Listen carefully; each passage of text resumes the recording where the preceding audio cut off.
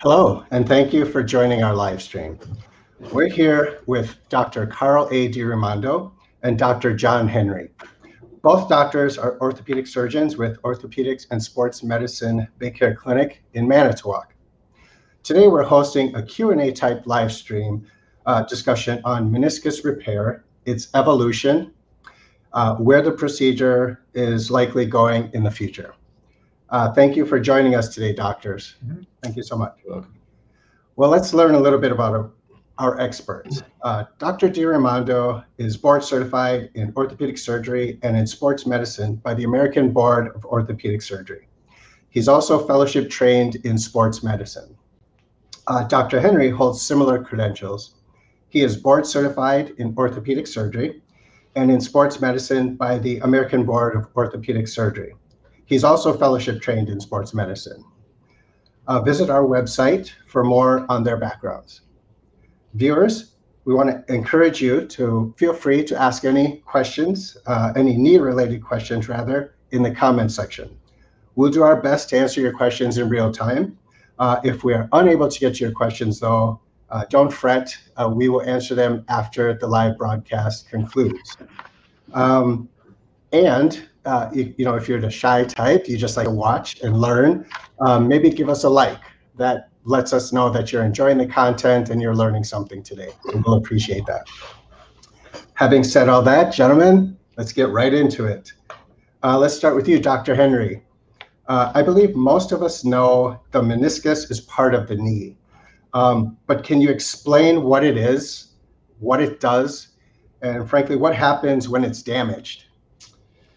Yeah, the the meniscus is a very important part of the knee. I mean, you're right, and um, it uh, it's one of two types of cartilage in the knee. Um, so I, I, brought this model to show you, uh, to show our, our audience, and hopefully you can yeah. see this. So here's a model. There's the thigh bone and the shin bone, or femur tibia, and the patella in the front. If we look inside, articular cartilage is the stuff that lines the bones. It makes for that smooth, low friction, Teflon-like surface. And the meniscus are these structures here, uh, in between the thigh bone, shin bone, and that's a different type of cartilage. Instead of being Teflon-like, it's more rubber-like and it functions as a shock absorber, so to speak, between the femur and the tibia. And um, just like the shock absorbers in our cars, it it bears the uh, brunt of any uh, weight-bearing stress with our daily activities, and it's stressed more with athletic activities, and therefore it can be vulnerable to injury. When the meniscus is uh, injured or torn, then it um, usually causes a variety of, of uh, symptoms and and in most cases that uh, ends up needing some type of surgical treatment. Okay, okay. Um, Dr. DiRaimondo, let's get you involved here. Uh, how do you diagnose a meniscus problem? Well, I mean, obviously, for most patients uh, are in our office, the big complaint is there's something causing pain, causing swelling, or, or mechanical symptoms. As Dr. Henry referred to, that's a a piece of cartilage between the bones. So if something tears, there are nerve endings, but there's also a mechanical sensation that can occur. You know, for us, it's a good history. Someone describes, you know, an activity, or maybe they twisted or, or did something to the knee and they have very localized pain. As you mentioned, we have two of these cartilages. One's towards the inside or medial side, and one is towards the outside or lateral side. And oftentimes patients can take their finger and they'll point right to where it hurts. Oh. Next, it's really the exam, you know, and obviously we do a very thorough exam of all of our patients. The number one most, you know, the most sensitive exam finding is when we press right on the knee where the meniscus is, it hurts. That's number one. That's the most sensitive finding. Wow. But we do have some special tests on how we can twist and manipulate the knee that sometimes might generate a catching or a popping sensation. So that's kind of, you know, already once you've taken a good history and done an exam, most of us can are kind of leading down a path where this could very well be a meniscus injury. Then we can do some different diagnostic tests. You know, most people end up with x-rays. We particularly like to take x-rays where the patient is standing. There's going to be a space between the bone. We want to see how wide or how narrow that is to see how thick or how thin the cartilage is. You know, and that can give us some sense of you know, the health of the knee. Another thing that could be causing similar symptoms is when the cartilage thins or osteoarthritis.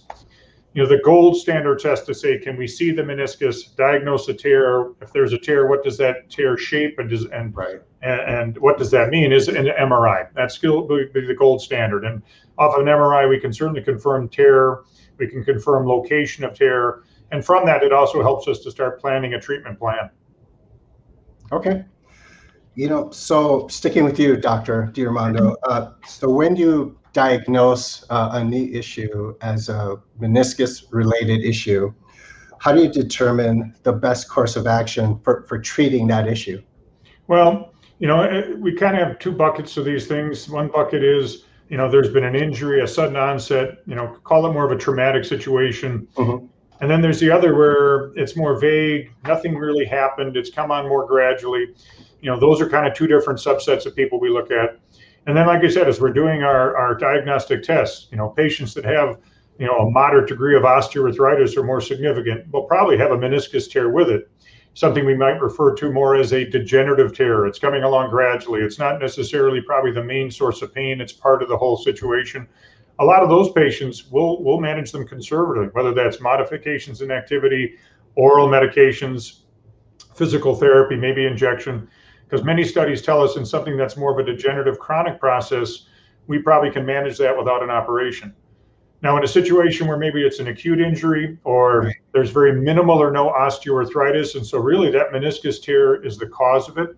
And particularly when we're talking about a tear that is involving a, you know, certain areas of the meniscus that are placed at higher risk for tear progression, or hey, if we don't do something now, if the tear is far larger, we might end up not having an ability to fix it. They tend to be the ones that that end up with a surgical intervention. Okay. Uh, Dr. Henry, we're tossing to you. Uh, what's the most common issue you treat related to the meniscus? Uh, are we talking tears? Can you sprain a meniscus? Can you tweak it? What's the most common issue that you treat related to the meniscus? Yeah, when there's a problem with the meniscus, uh, it means that there's a tear.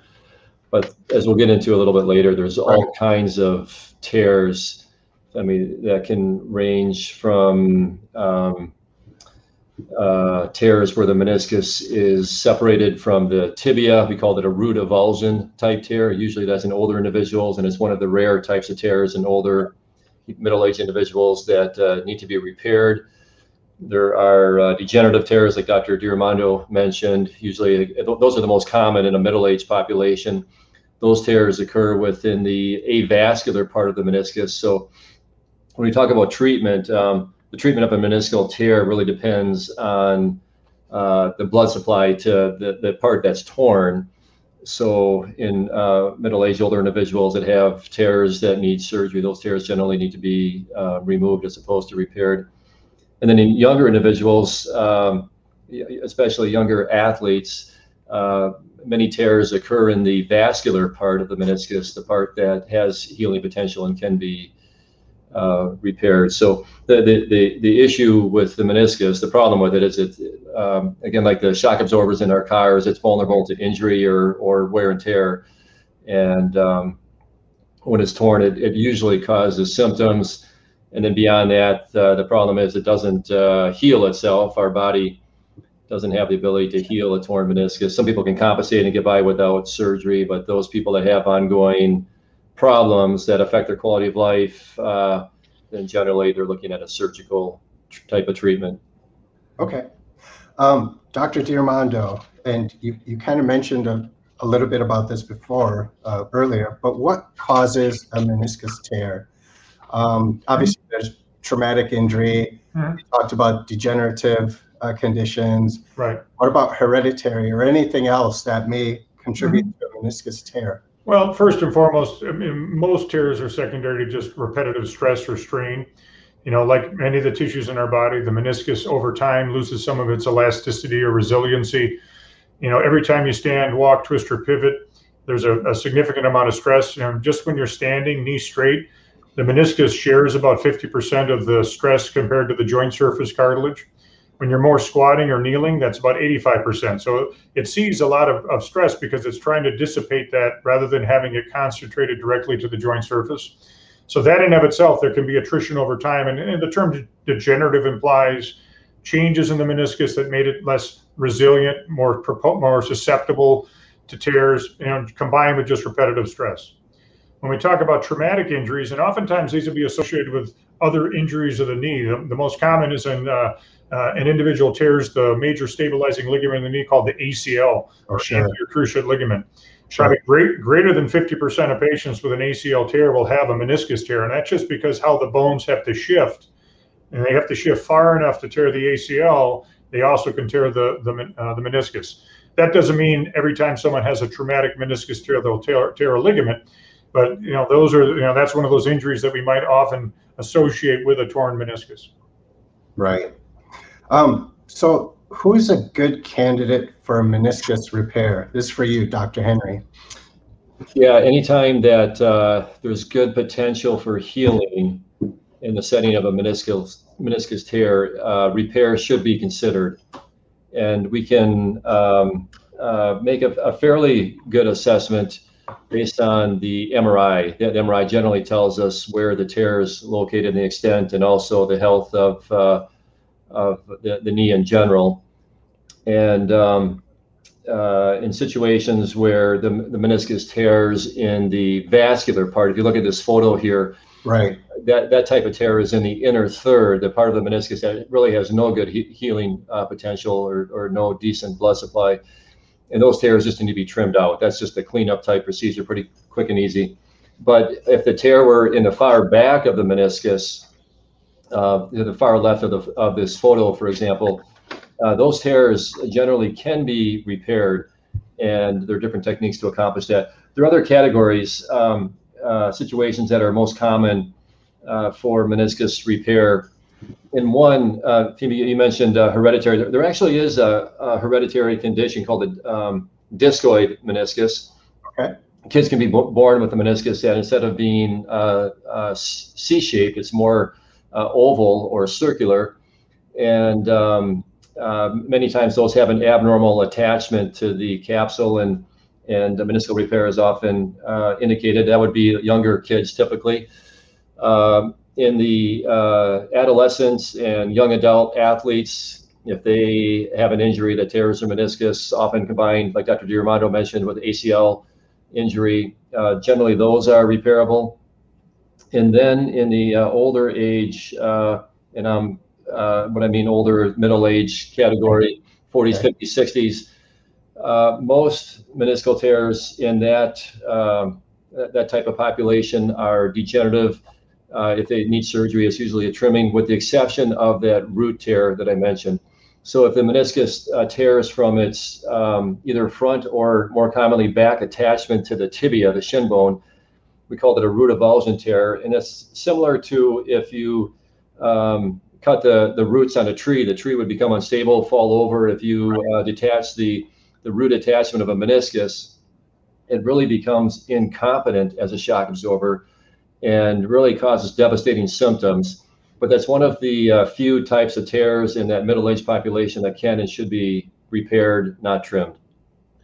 I think one other thing to add to that is we, as we talk about maybe a patient 40s, 50s, maybe even to their 60s. Sure. And Dr. Henry can attest to this. Is we're also looking at the joint surface. So the image that's on the screen, the meniscus is the ribbon-like structure. The silver is a little probe that we're using right. to pull on it.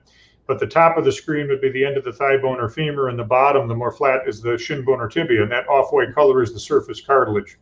So if we see partial to near almost full loss of that surface cartilage, meaning there's probably a significant arthritic component. Another reason, even though it could be a tear that looks like otherwise it would be good to repair, we realize that if there's already some moderate degree of osteoarthritis, that right. if we go through the, the exercise of repairing it, it probably won't alter their clinical symptoms. Most times we know that before we even offer a patient a surgery, but every once in a while when you get in there, you might find the damage to the joint surface is more than maybe the x-rays or the MRI let on. Okay. We have a question that came in, so I'm going to pose this to either of you, whoever feels comfortable tackling it. So, can you perform meniscus replacement if someone is missing a lot of their meniscus uh, due to prior years that were cleaned up? Yeah, I, I can take this one because I um, I do some meniscus transplantation in my practice. So, um, the, indications for meniscus replacement or meniscus transplantation are uh, really quite uh, narrow, or these uh, surgeries are fairly few and far between, even for those of us that do a lot of joint preservation type work or cartilage work in the knee. Um, if if a younger individual with a knee that's otherwise healthy and stable has ongoing, continued, unacceptable symptoms compromising quality of life due to meniscus deficiency, meaning they've they've had a prior injury. Unfortunately, lost the majority of their meniscus. It wasn't repairable at the time, right. and they just have ongoing symptoms because they don't have a shock absorber. The joint is being stressed abnormally, or call it stress overload of that compartment. Then uh, they can be a, a, a, good candidate for meniscus transplantation. And there have been all kinds of things that have been tried uh, in the synthetic realm. People have tried uh, putting uh, different polymers or rubber type material or all kinds of things been tried, and they've many most of them have, if not all of them, have failed dismally. Mm-hmm. Okay. Um, and uh, the the, the the treatment that has shown success. It's it's a, a technically challenging procedure, but um, we we use a donor meniscus for this procedure, and it's uh, size matched. It doesn't have any um, uh, uh, any immune type uh, reaction within the knee, or doesn't require uh, concern about rejection. but we we find a, a, a donor meniscus that's healthy and of the appropriate size for the patient or the individual, and then we can put it in place. Okay. Okay. Thank you for that answer.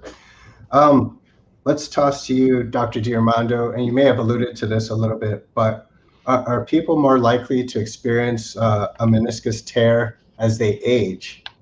Does well, age I, have anything to do with it? The simple answer is yes, and it's just you know cycles and repetition and you know we we run we run we, we squat we kneel we twist we pivot. You know with over time there's going to be some attrition. So you know the one of the most common procedures and diagnoses is we, that we make anyone who treats knee conditions is a meniscus tear. You know whether that's something that leads to surgery or whether that's something that's more non-surgical managed we kind of told you that's a you know depends on the type of the tear the quality of the knee the age of the patient but it's one of the most common diagnoses we make because it is susceptible to stress and strain because it is a major shock absorber in the knee. And as, as time goes on, there's attrition of it. Okay. Um, Dr. Henry, this is for you. And we talked a little bit about this, but I'm hoping you can get into a little bit more. Uh, what other injuries can accompany a meniscus tear? Yeah, it's a good point.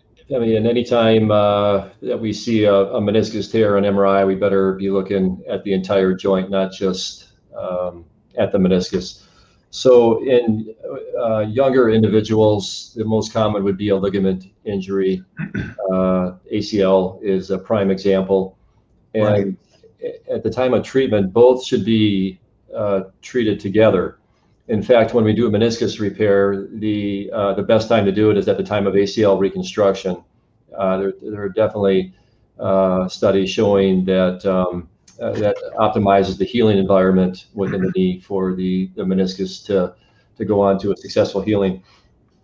Um, as uh, we get older, as, as we've talked about uh, quite a bit, um, most meniscal tears have some degenerative, some wear and tear component and then often uh, when we go in arthroscopically to address a meniscus tear, there's there's some cartilage damage. Some of that articular cartilage or Teflon-like cartilage is um, worn or torn or unstable, or there might be loose pieces floating around in the joint. So it's really important, in my opinion, uh, when we uh, treat these conditions surgically, and this is almost always uh, arthroscopic uh, surgery, not open, right.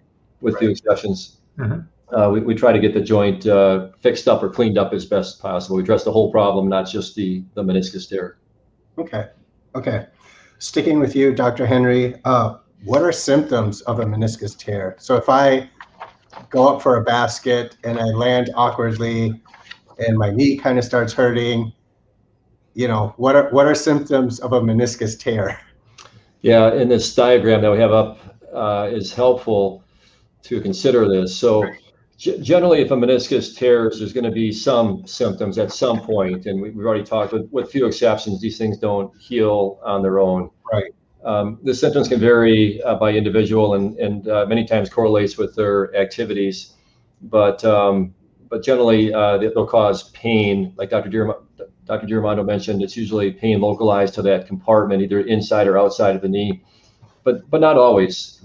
Um, and then if you have an unstable tear, there can be mechanical symptoms, and by that we mean catching, locking, giving out, or joint swelling. So this picture in the, the diagram to the top left, that little uh, like C-shaped uh, tear right. within the substance, something like that may cause some intermittent pain just related to certain more stressful activities like squatting or running perhaps. Sure. Uh, the pictures, uh, again on the top row, the second and third picture, center and right, those are, are definitely more unstable tears. Those have uh, greater potential to cause mechanical symptoms because those those flaps uh, can get caught.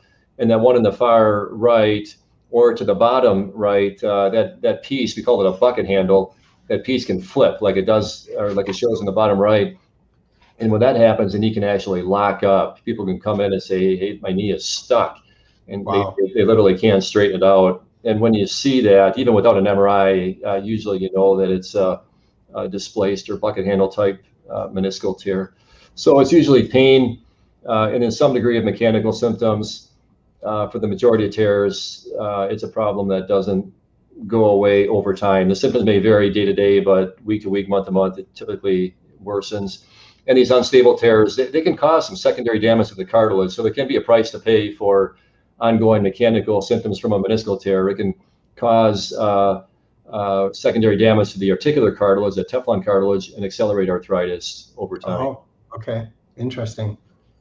Um, so we have another question that came in. I'll toss this to you, Dr. DiRaimondo. Um, it's a little long, but I'll give you the gist of it. um, so it looks like uh, a couple of meniscus surgeries uh, somebody still has a lot of issues with the knee.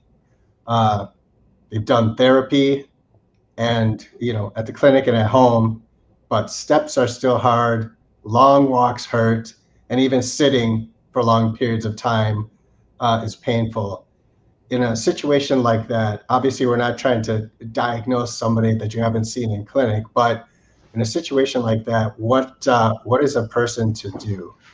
Well, I mean, certainly they need to be in contact and, and follow up with their clinician. You know, as we've been discussing, depending on the age demographic that this is occurring in, and it's usually things like this are, if they've had multiple surgeries, they're certainly probably older than younger.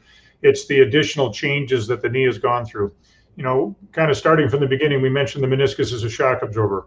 It's right. part of the normal knee if someone's had a tear, obviously they're symptomatic and they've undergone a procedure for which unfortunately it wasn't something amendable to repair and portions of that are taken out. It feels better in the short term, but with less of a shock absorber, you'll start to see some changes related to wearing of the joint surface. Even if there's been a second surgery, even more so. So certainly if there's still ongoing symptoms, depends how far out they are from surgery. If it's more recent, you want to make sure there's not a complication more associated with the procedure, though that is rare.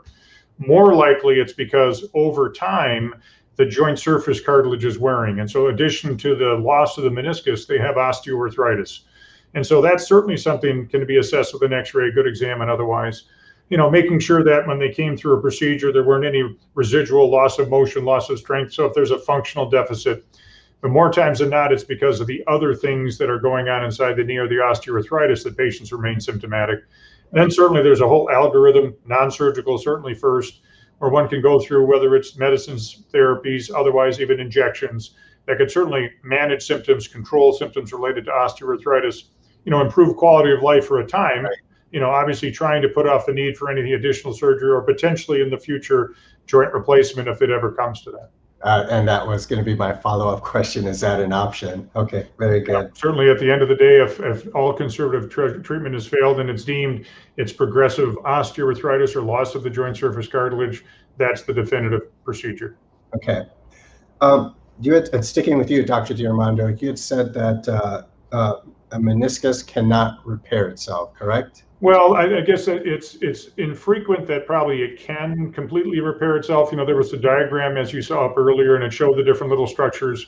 Right. You know, and if if we talk about the very edge, and Dr. Henry alluded to this, if you can kind of break the the cross section of the meniscus into thirds, the outer third or the, the part that's closest to the lining of the joint called the capsule, we kind of call it the red zone. The red zone means there's blood flow. So small ah. tears in that area you know, they have the potential to truly heal, meaning they heal, and you know, over time you would probably not be able to find that tear. Okay. Probably more often, it might be that somebody has a small tear. It occurs initially. There's pain, there's swelling, but it tends to settle down. It may never go away, but for a period of time, it becomes less symptomatic or asymptomatic. You know, down the road, could it become symptomatic? Yes. When you see the tear, and, and there was the initial diagram where there was a picture inside the knee joint, and it's Right. out in this area that we call the white zone. White meaning there's no blood flow whatsoever. You know, there's no way they truly heal. Uh, as I say, if it's small enough, it may become less symptomatic, but it probably it's a matter of time before something will lead to that tear becoming larger and then creating whether that's pain, swelling, or mechanical symptoms. Okay. Thank you so much for that. Uh, Dr. Henry, let's get into a little bit of the uh, nuts and bolts here. Um, so, what is involved in meniscus repair surgery? Like, what happens? Um, let, let me first just mention what we do in the more common scenario where Sure. we trim out a torn meniscus or do a partial meniscectomy. And that's essentially just removing the part that's torn, getting rid of the flap and leaving a stable remnant. But we try to leave as much of a healthy meniscus as possible. That, that's an all important goal. So very different from uh, like pre-arthroscopy days before Dr. DiRaimondo and I started our practice way back. Uh, someone had a symptomatic meniscal tear, they have an open surgery and the entire meniscus would be removed. And the thought was that meniscus was kind of like an appendix, just an unnecessary piece of tissue. And most people did fine short term, but long term developed arthritis. Right. So we, we definitely have a goal of uh, preserving as much healthy meniscus as possible. And it's along that uh, line of thought that any meniscus that's repairable generally will repair it. And the treatment has evolved quite a bit with our um, arthroscopic technology. So we used to do a lot of um, open repairs. We'd have a scope in the joint to look at the tear, and then we have an open incision on the outside of the knee, and then pass sutures. And that, that's a, a very good repair. In fact, some some people still consider it the gold standard. We now have some different tools where we can do the uh, procedure, uh, meniscal repair surgery, all inside the joint or all arthroscopic. And basically, we have um, uh, very fine needles that we can put in the joint through small incisions in the skin that allow us to deploy sutures across the tear. And then there are devices that can uh, tension the suture to bring the tear back together. Um, that, that's for uh, the majority of meniscal tears that are amenable to repair. Uh, the, the difference would be with a, uh root avulsion tear that I mentioned. In that case, then we're uh, drilling holes in the bone, passing sutures around the torn part of the meniscus, bringing the sutures over the bone, and then tying it over a little uh, button outside uh, the, the shin bone. Um, but in, in either case, the, the goal is to restore the anatomy as close to uh, how it should be as, as possible. And then the question becomes, what do you do after that? And um, I, I think you have a question for Dr. DiRaimondo about the uh, the recovery of the therapy. Right. But the other question is, uh, how do you optimize the healing potential? And, and there are many factors that uh, are important to consider. Uh, some uh, within the patient's own control, things like um, following restrictions, not not putting too much stress on the repair, having a proper diet, uh, that they have adequate nutrition, their body has the uh, the nutrients that it needs to heal properly. Uh, not smoking is a big deal. Uh, people that smoke really compromise their ability to heal tissue like this. And then there's a, a, a bit of a of a unknown factor with um, uh, biological augmentation, so to speak. Uh, and some some surgeons, uh, particularly at academic centers, are using or experimenting with things like stem cells or platelet-rich plasma, Oh, yeah. other devices that may give Mother Nature a little boost to help with the healing process. But bottom line, the jury's still out. Uh, we don't quite uh, know how best to use some of those uh, treatments quite yet. Okay. Okay. Dr. DiRaimondo, uh, do meniscus patients require physical therapy? Well, I mean, part of the recovery, you know, uh, after meniscus surgery is protection, as Dr. Henry mentioned. And for the majority of the tears that we're repairing, you know, the part that we're repairing wasn't stable to start with, and we're trying to create a stable situation with the different, you know, repair techniques and technology. So most individuals need to be non-weight bearing for a period of time. Sure. Kind of the overall kind of if you and there's various rehab techniques, but it's about a six-week period of time where most individuals are going to have some limits, whether it's non-weight bearing, partial weight bearing. some limits in knee range of motion. As I mentioned, the farther back you bend the knee, the more we're stressing the meniscus. So we're going to watch how far back we bend the knee. Early on, a patient might need some therapy to teach them how to be compliant with those restrictions, okay. but there's not much we're doing other than keeping their weight off of it. Oftentimes, there's a brace that might limit motion. Now, if we're out past or at that point where we're going to start to lift some of those restrictions, obviously, you know, the trade off is during that period of time while we're protecting things, you know, there may be some loss of muscle mass, there may be some loss right. of joint motion. Then I think the physical therapy is valuable to start getting back full motion, restoring strength, guiding a patient on appropriately how do you restore normal walking pattern and exercise. You know, typically if you're talking recovery time, and it's probably in here somewhere, you know, and, and my Gestalt health patients, the first weeks, six weeks is the most protective period. The next six weeks, we're trying to restore full motion, kind of get back to full strength, low impact or non, you know, minimal impact, walking, biking, you know, elliptical trainer, maybe swimming to some degree you know, 12 weeks out, if all looks good clinically, no pain, full motion, no right. swelling, we start to introduce whether it's the running and, and impact type activities, okay. de- depending on what they're trying to get back to. You right. know, that can be a four to six month journey in some situations, depending on what also was done at the time of the meniscus repair. Okay. Good. clarify, uh, you're talking about after meniscal repair. What, what about after just um, partial meniscectomy? So a, a, partial meniscectomy. So when I when I have a patient that we're not sure until we get in there, sometimes it's the the one track is the repair, and they've heard that. The other track is get in, trim it out, like taking a stone out of your shoe. Right. That's a that's a medial weight bearing. There's no restrictions in range of motion. Most people are using crutches for a few days to a week. Okay. Range of motion initiated right away. You know, whole goal is to get over the initial swelling. Now that recovery time back to full activities, including athletics, could be four to six weeks. Okay. All right. Really good. Thank you for sharing. Hmm. Uh, if you're just joining us, we're here with Dr. Carl A. DiRaimondo and Dr. Jon Henry. Both doctors are orthopedic surgeons with Orthopedics and Sports Medicine BayCare Clinic in Manitowoc. We're hosting this Q&A type session focused on meniscus repair. Uh, we encourage you, our viewers, to feel free to jump into the conversation with your questions. Uh, post them in the comment section. Gentlemen, let's keep the conversation going. Uh, and let's focus on meniscus repair as a procedure.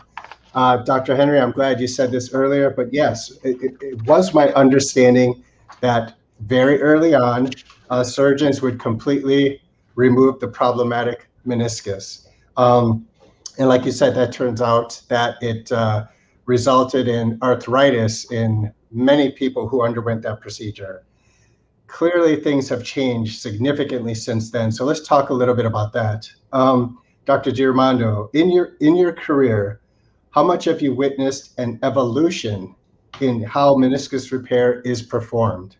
Well, I think it's been significant, and, and both Dr. Henry and I are, you know, working in our 20th uh, plus year of practice. So, you know, we've kind of trained at the same time with the same techniques and he mentioned some of those already. You know, these techniques where there's incisions made adjacent to the side where the meniscus is torn, needles and thread and things like that, which are still available, but were certainly the gold standard. You know, this concept of a root tear. You know, when we first came into practice, no really, no one really understood that. Fast forward to where we are now, right. and certainly with you know medical technology and and, and technique, inst- instruments and implants that allow us to get to areas where we couldn't get to before particularly where it's a little less involved surgically, both for the surgeon and the patient, has opened up the possibility, and I say possibility of doing these repairs. Always, we, we as a surgeon have to kind of keep in mind I don't want to put the technology, all these neat little tools and toys ahead of reason. Right. Is this really going to heal?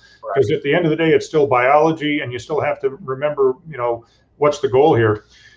Even now, and even in this, you know, in this time, you know, as I attend meetings, our understanding of, of, the root tear, for example, and other ligaments that support the meniscus is still evolving. So we're not done learning. We're not done as a, as a uh, organization orthopedically probably coming up with better ways to repair or understand a tear. And as Dr. Henry alluded, I think some of the big things in you know the immediate or certainly more long-term future is how do we enhance biology of healing, meniscus right. tissue, and other orthopedic you know things. Right. Well, Dr. Henry, let me toss this to you. Uh, where do you see this procedure, uh, meniscus repair, going in the future? I mean, what improvements or new ways of treating this condition do you see on the horizon? Or maybe you've already started utilizing some of these new techniques or tools. Um, what do you see in the future? Well, there's a, a holy grail that um, we love to have in orthopedics that um, I think is uh, uh, still a long ways out, and that's to have a biological treatment for a lot of these cartilage, which includes meniscal problems. And um, it'd be nice if someone had uh, cartilage damage or a meniscal tear, and we had the ability to, for example, inject a substance inside the knee, and that would magically cause that area to heal. Right. That's the holy grail, but uh, we're a long ways away from that. I, I don't expect to see that in my lifetime, um, but perhaps someday. That, that's that's the ideal. Okay. But we do have things like stem cells and uh, platelet-rich plasma, Right. which are taken from the individual, from from that patient, that that have potential. Uh, that's Mother Nature's recipe for healing a variety of conditions. We just don't really know how to use them yet. So I, I, mentioned uh, earlier that um, stem cells and PRP are sometimes added to a meniscal repair, um, either at the time of the procedure or afterwards, just by injection in the joint.